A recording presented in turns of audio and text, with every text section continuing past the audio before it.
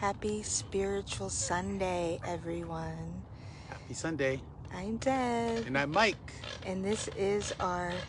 Ooh, there's a loud bird right there. That's a he wants coot. to be.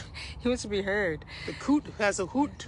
This is our uh, challenge, our uh, craving consistency challenge, and um, this is day six. That's day wow. six. Hi, Lenora. One more day left. One more day left. Thank you for joining us here at this beautiful bench on this beautiful park in this beautiful sunny Sunday morning. Oh, it feels so good out here in nature. Hi, Aubrey. And yeah, guess what? It's a perfect time to talk about spirituality. Oh yeah. Sundays doesn't have to be uh, limited to our spirituality. No. But when we think of Sunday, we do think of being spiritual. At least I do. I equate that day, you know, the day the Lord has made, the day of rest, and um, just being with God or being with uh, yourself, and both of God and yourself, and being spiritual. And how consistent are we?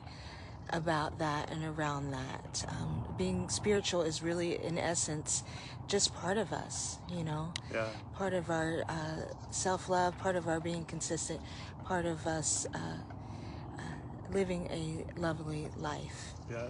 So we have uh, some talking points today. Mike's going to talk, Yeah, definitely. and gonna I'm going to hold the phone. Yeah, I think it's definitely important to have um, a relationship instead of a religion. And throughout my life, I've been consistent with my relationship with God and very inconsistent. My personality type is all or nothing. No. And um, it's a blessing and a curse. I mean, Yeah, God know, made you that way, right? God made me that way.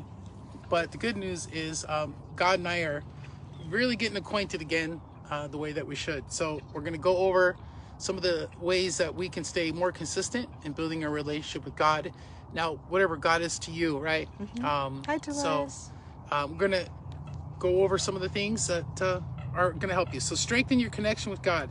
Daily devotionals set a time each day for prayer, meditation, or reflection to nurture your relationship with God. So that's really important, right? So set, important. set that apart. Uh, Deb and I read devotionals every morning, and uh, recently, I, you know, I, just, I started my prayer again, and uh, having a little bit of silent time with God in the morning. I never understood really what that meant, but uh, a prayer is talking to God, and um, Meditation is meditation is listening, listening. Yeah. right? I shared that with you, right? yeah, you did. Yeah, it's so true because uh, even the pastors talk about at churches, you know, oh, if you just pray, God me give this, God give me this, God give me that, you know, those uh, down on your knees prayers.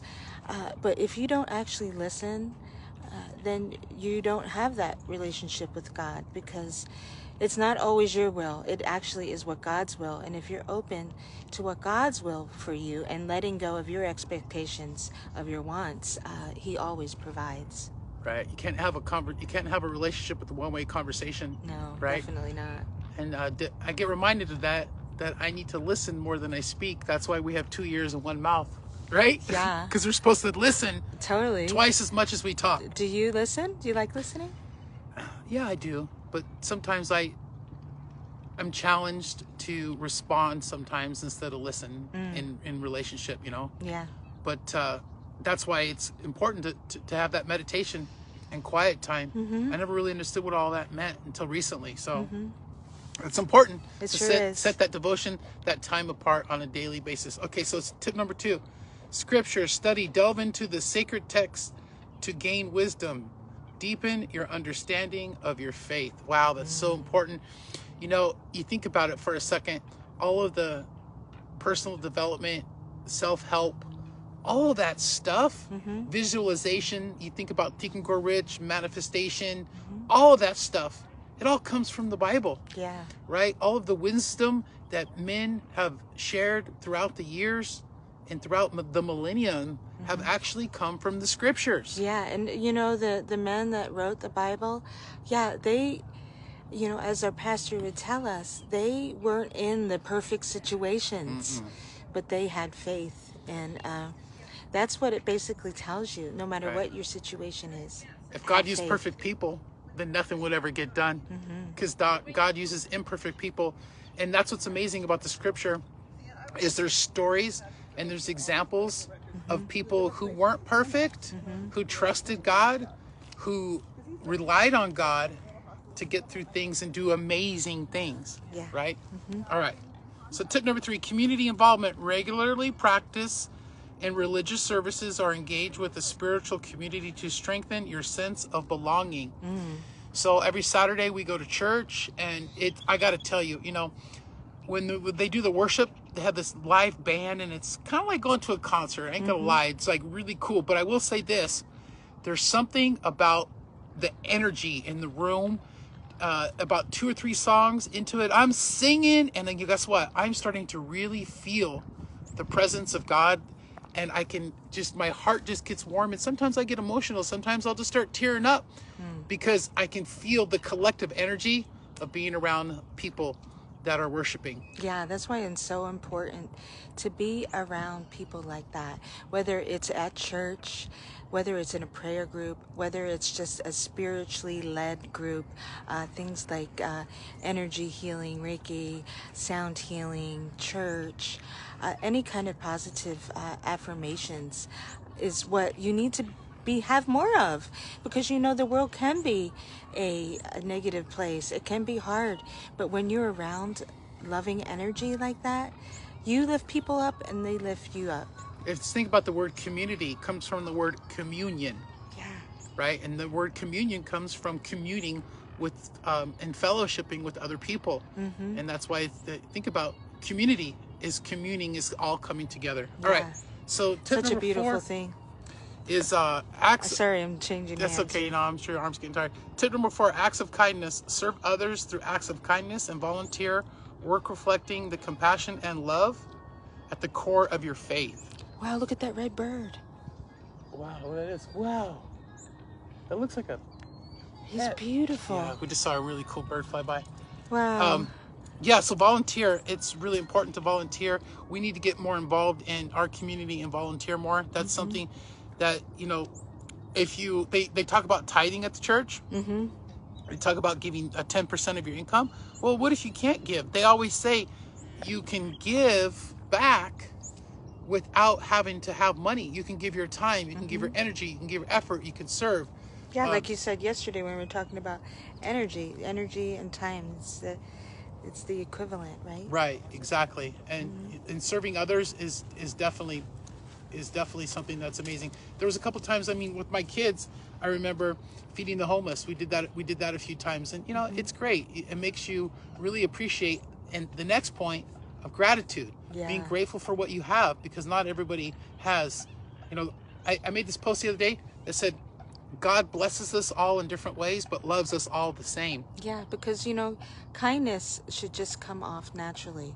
Uh, it could be as much as, you know, opening the door for someone, doing things up, for Steven? people without uh, having expectations of anything back. All right, so this is the tip number five on how to stay consistent in your relationship with God or your spirituality. Gratitude and forgiveness. Cultivate a heart of gratitude and practice forgiveness, clearing the way for deeper connection with God's love and grace. Oh, hey, folks, really, that's what this is all about. It's about forgiveness. You know, we have the ultimate gift of being able to have an eternal relationship with God because of forgiveness Yeah. right? So be grateful for that and have gratitude. Have gratitude for every single moment. You know, a lot of people think that love is the most powerful emotion in the world. That's not it. You know what the most powerful emotion in the world is? Gratitude. Yeah, and if you're if you're having uh, irritability or anger issues, uh, before you speak, be grateful. Yeah. Stop. Take a moment and be grateful before you start talking. It really does change a lot of things and experiences in your life. Don't just point a finger because you ever see if you point a finger at somebody else, there's three fingers Yeah. pointing back at you. You, you mentioned, uh, you know, being stuck or being miserable about your problems. Yeah. Be grateful for your problems because those are um, opportunities to grow and be closer to God. And not only that, but do you realize that there's people out there that are praying to have the kind of problems that you might be having? Yeah, So- God gives us things to learn our lessons on earth. You know, we were talking about this other the other day. if you want patience, don't you pay pray to God for patience. He'll give you more things to be patient about. Yeah, that's true. Um, yeah, we, we don't want to learn our lessons over and over, but sometimes we do. Right. You know, I have had that happen in my life experiences as well. Right. But when we're grateful and have a loving, kind, sweet heart, uh, the world is just a better place no matter what's going on outside. So it's true. what's going inside of So- your heart So true. that matters. Yeah, so true. So, in closing, before we go over the homework, just remember that your journey is a personal one, but these points can guide you to stay consistent and get closer to God. So, Yeah. uh, for the homework, like, hey, seriously, what do you do to have a healthy spiritual relationship with your Creator? yeah. What are your daily practices that you put into play on a daily basis to grow closer to God, your creator, hmm. whatever that is for you? Yeah, let us know because we always are open to learning new things from our friends because we love you guys. And Most you definitely. have brought so much positive energy to this group. I mean, Yeah. just this group alone, even though we don't see each other in person, uh, your lives mean a lot to us and your contribution to the group means everything to us. So uh, I love it when you guys participate and um, the challenges that we give you. It's an amazing relationship, even if it is online. So, this is day six. Tomorrow's day seven, the final day of our Craving Consistency Challenge. And uh, all of these things that we've talked about are things that I personally crave to be consistent with. Me too. and uh, that's why uh, we, we're talking about them and not only do we crave we struggle sometimes to be consistent with these things and, and that's the vulnerability that we're sharing with you that hey you know it is what it is Yeah, and think about that on a daily basis because uh, once you have a craving, once you satisfy that craving, you're not craving it anymore, you're living it. yeah where do you think those cravings come from those those desires in, inside your heart they come from god definitely mm-hmm. right Yeah. just i'm going to close with this if you have something that you think that you want to do just know that it's possible because you wouldn't have gotten the thought if it wasn't possible Yeah. think about that for a second all right we'll see you tomorrow god bless you guys God bless you. Enjoy the rest of this beautiful Sunday. Happy Sunday! Bye. I feel